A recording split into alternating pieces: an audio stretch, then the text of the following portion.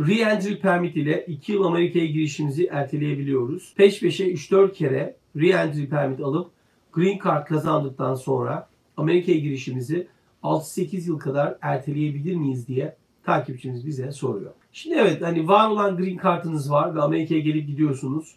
Aa, bu noktada fazla burada kalamayacaksınız ya da Amerika dışında uzun süre kalacaksınız bir yıldan fazla. O zaman re-entry permit'e başvurup 2 yıl Amerika'ya gelememe hakkına sahip oluyorsunuz.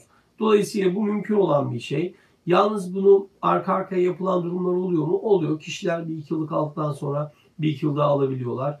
Bunun yani 3-4 kez alabilmenin garantisi yok.